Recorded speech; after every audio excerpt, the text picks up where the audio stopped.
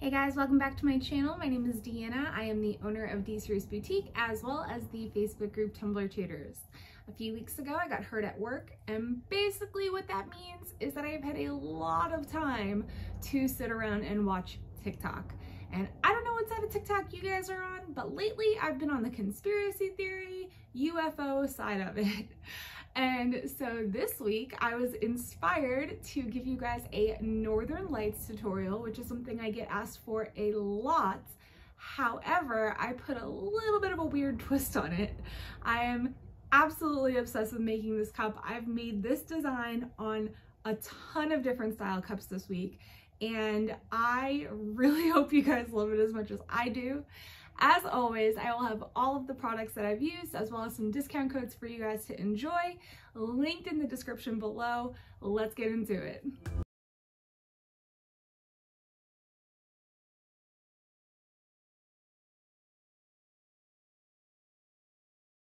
So we're starting off with a 24 ounce plump from the Steel Magnolia, spray painted in green apple Rust-Oleum spray paint. I went ahead and mixed up about 5 mLs of Counterculture DIY's fast setting epoxy. That is 2.5 mLs of part A and 2.5 mLs of part B. We are using such a tiny amount of epoxy because we are doing the epoxy method to go ahead and apply our first layer of glitter. You want to be sure that that epoxy layer is completely smooth because any lumps and bumps will be able to be seen through your glitter. So now I am going in with Jax from Peachy Olive Glitters.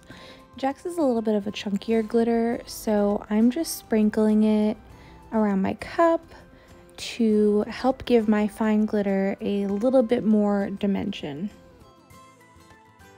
Next up, I'm going in with Double Dare from Peachy Olive Glitters. Double Dare is a really pretty lime or neon green glitter. It is a fine cut glitter. So this is kind of filling in between our chunkier glitter that we laid down first. So now I mixed up about 30 mLs of CCDIY's Fast Set Epoxy and here's where I decided that I wanted to have a little bit more dimension, um, but I also wanted it to glow in the dark. So I went ahead and on top of my epoxy, I mixed in more of Jax, more of Double Dare, and I also added um, some glow powder, which is from Backfist Customs, and it goes from colorless to glow green. So I'm just making sure I mix that in really, really well together. And then I'm going to apply it right on top of that raw glitter. And it is going to go ahead and do a couple things for us. Number one, it is going to give us our epoxy coat. Number two, it is going to add even more dimension to that green glitter. And number three, it is going to glow for us. It is going to be glow in the dark and it is going to be absolutely gorgeous. We do want to make sure that we have full coverage and we also want to make sure that we pop any bubbles with our torch. Next up, we're going to go ahead and sand. Um, I'm just using my hand sander because of my injury, but you guys can go ahead and use your regular sandpaper. Just make sure that you do get a really good sanding on that top edge. You just want to make sure that when we go to spray paint later and clean up our edge, that you'll not expose any of the green glitter. Next off, we're going to start taping off a small triangle for our beam. And this doesn't have to be perfect, it just has to be somewhat of a triangle. I try to make it so that the tape perfectly overlaps at the top so that the top is one inch and then I think my bottom is about, I don't know, maybe three to three and a half inches. Um, I just kind of eyeballed it, just a, a little bit of a TP, if you will. Now I'm just going in and making sure that our tape is really nice and cleaned up the way that we want it to look.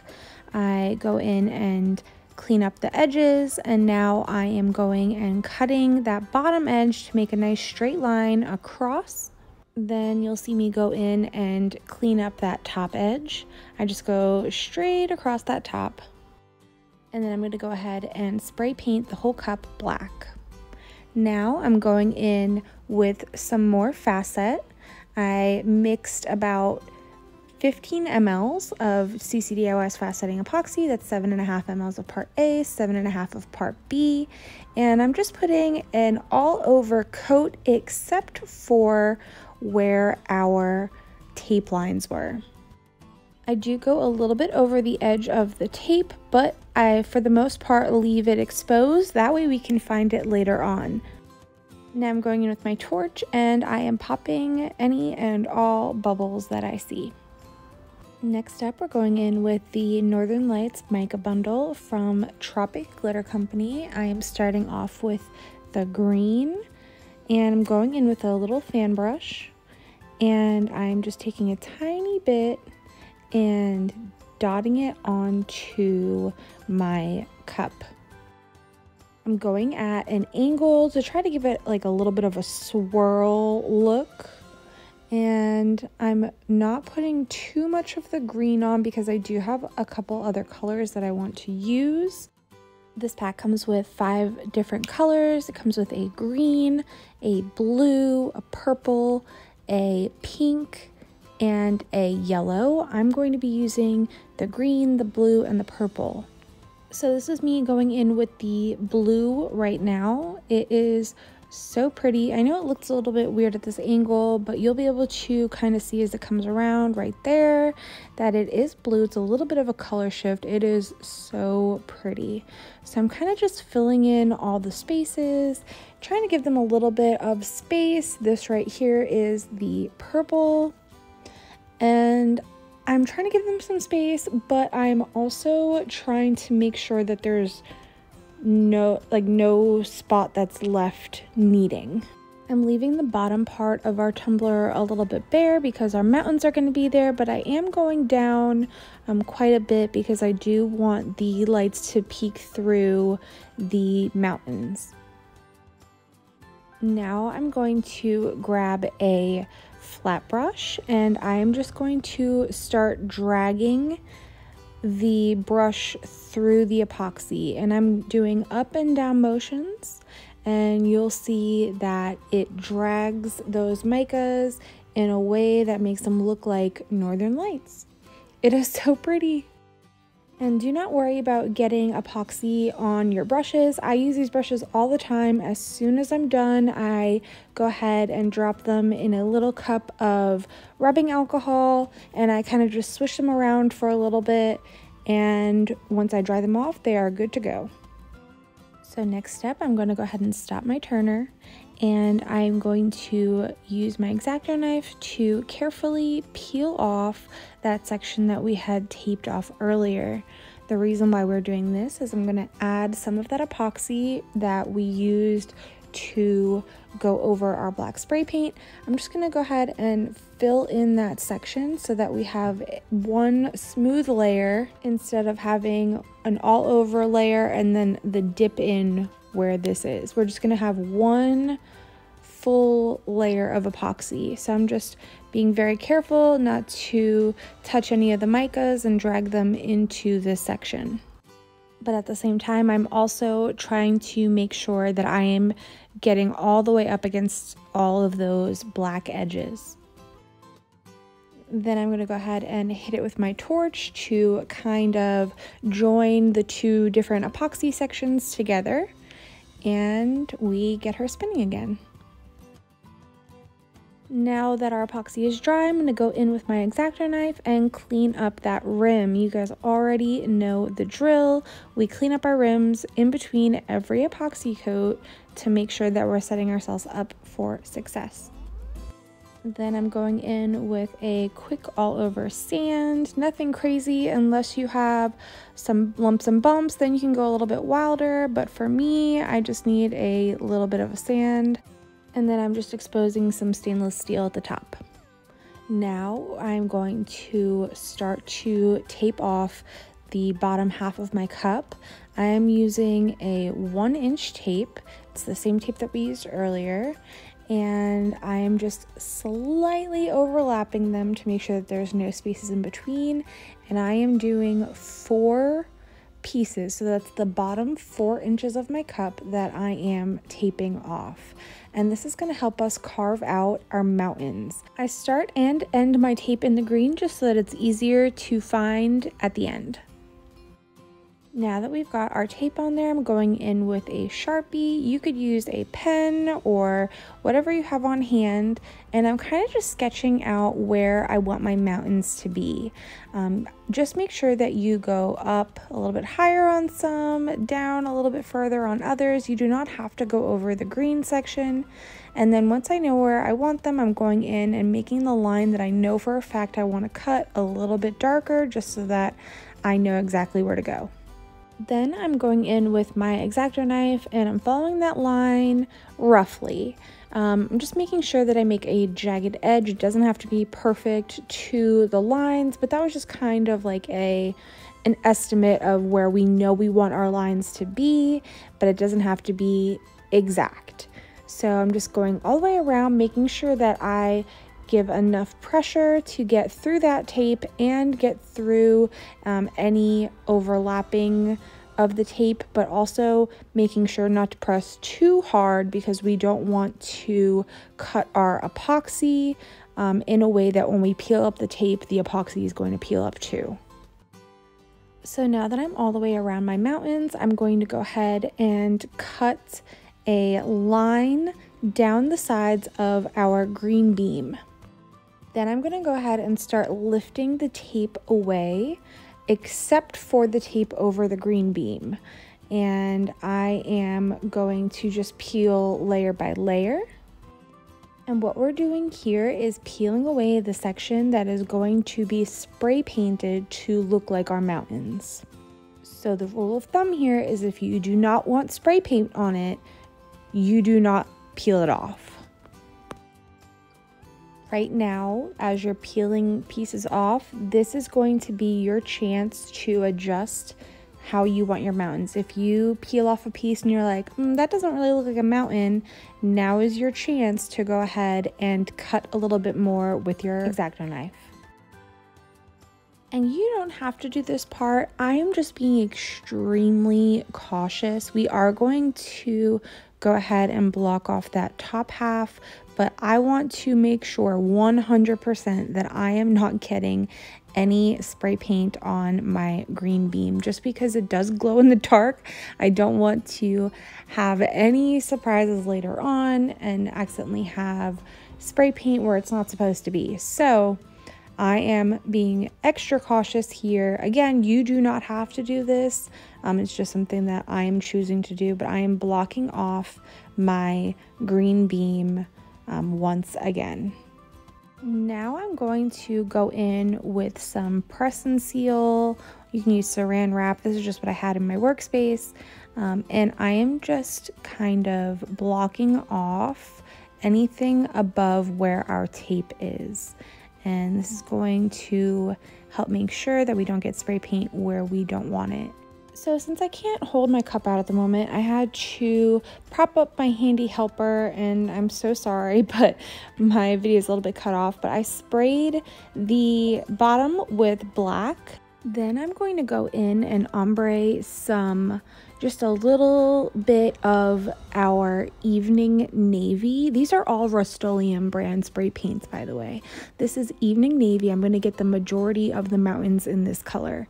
And then I'm going to aim some winter gray spray paint, just a light spritz. I'm aiming it towards my saran wrap and I'm just going to give a quick mist. So now that it's back and dry, I'm gonna come and take off, I keep calling it saran wrap, but it's press and seal.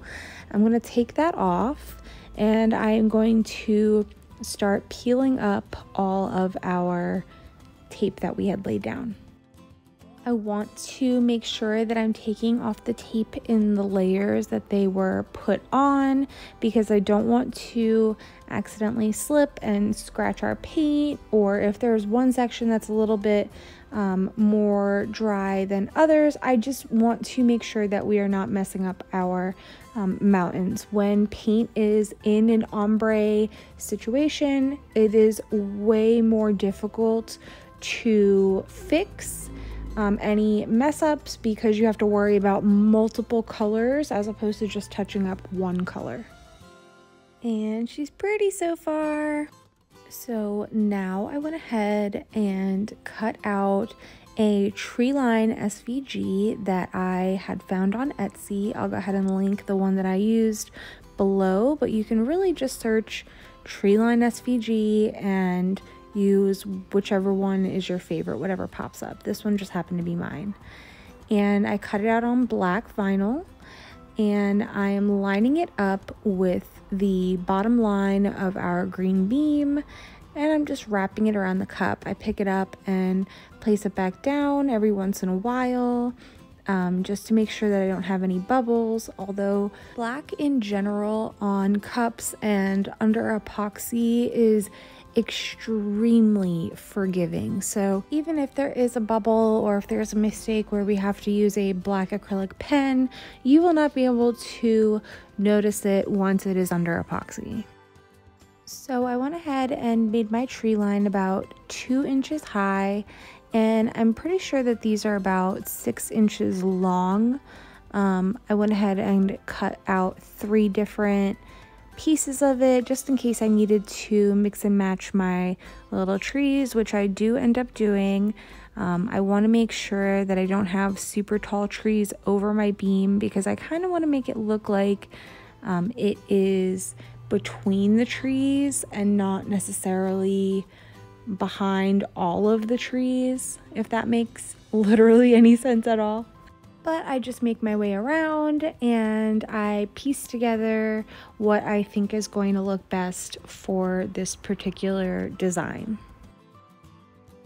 Then I went ahead and cut out my little UFO and I am weeding all of the little circles and getting all the pieces that I don't want in there out and then I decided that I didn't like it all one color, so I was going to go ahead and add another color in there. So I went ahead and weeded out the pieces that I wanted to make a different color and I went ahead and stuck it on my cup and I made sure to place it down low enough so that it looked like the beam was coming out of the center. So because I did that and placed it lower than where I put the beam, I went ahead and colored in the top part of the beam with an acrylic paint pen. And that way, when I go to put the color that I really want over there, you won't even be able to see it. You just won't see the green. Remember what I said earlier about black being super forgiving? So I picked out this really, really pretty hot pink, purple, orange, opal vinyl. I'm not even 100% sure which brand it is. I do know that I got it from my local vinyl shop, um, but I will go ahead and link something similar to it down below. And I'm just going to go ahead and place it where the parts were that we took off that were gray. So I'm going to go ahead and line up the little piece that's inside of the gray and that's kind of how I'm going to gauge where the pieces are supposed to go. And there we go. And she looks pretty good. I'm happy with this color choice. Look at that vinyl. Oh my gosh. Okay, so now I'm going in with a Posca paint pen. I will link the exact pen that I'm using down below. I did get mine at my local craft store. So like I said, I'll link it down below and you guys can um, find it at yours or you can order it through the Amazon link, whichever you prefer. But I am just going in and making little stars in the sky. First, I'm starting off with all over single sized dots and just kind of placing them sporadically. Then I'm going to go in and start making some of those dots a little bit thicker than others. And then I'm also, while I'm doing that, I'm going to start making these little stars to make the little stars, I'm literally just doing little plus signs. So I'm going through and I'm making some of the stars a little bit thicker and I'm doing some plus signs every once in a while. And then after that, I'm going to make even smaller stars. So like little teeny tiny taps against the cup of my paint pen. And I'm just to fill it in. And ta-da, we have a beautiful night sky. And our next piece to add is our little guy getting beamed up. He's so cute. I love him. So now I'm using my cup cradle from Cowbell Customs to help line up my design so that I can place a decal on the exact opposite side. So I went ahead and typed out this anywhere but here because please, the way the world is working right now, take me away, okay? But um, I typed this out on my silhouette. The font is called Internet Friends. I got it for free from dafont.com and I'm just going to place it in the sky just over the mountains and it is so cute. And next I mixed up 30 mLs, that is 15 mLs of part A and 15 mLs of part B of Counterculture DIY's artist resin. And I am just doing my last all over coat. I'm just making sure that I've got full coverage and that I am getting from top to bottom with no lumps, no bumps, no extra epoxy. Any extra epoxy is being taken off with my glove and I'm hitting it with my torch. You know, I say I love a lot of the cups that I make, but I really, really, really am obsessed with this cup. Look at it in the UV light. Oh my gosh. And then the lights are going to go off and she glows. Oh my gosh, I love it. Thank you guys so much for watching. If you have any questions or comments, go ahead and drop them down below. Be sure to like and subscribe to my YouTube channel and follow me on Facebook, Instagram, and TikTok at D Cerise Boutique. Also, come hang out with us in my Facebook group for makers, Tumbler Tutors, linked in the description below. See you guys next time.